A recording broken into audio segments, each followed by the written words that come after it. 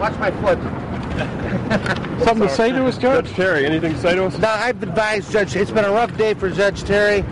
I've advised him uh, not to make any statements right now.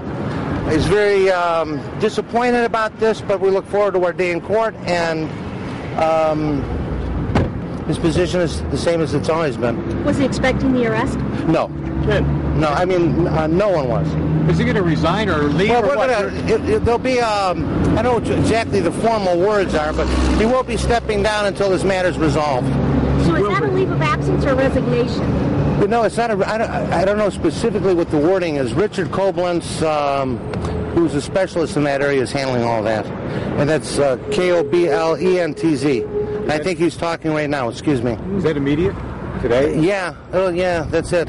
Until this is over with. Angelo Leonardo, how dare you? I gotta go, folks. Hey, I'm. Uh, Take care, man. like I said. Hey, good seeing you, man. Okay. Yeah. This is a uh, bad day for him, but we're confident that when um, we get into court and address these issues, that he'll be vindicated. Thank you, everyone.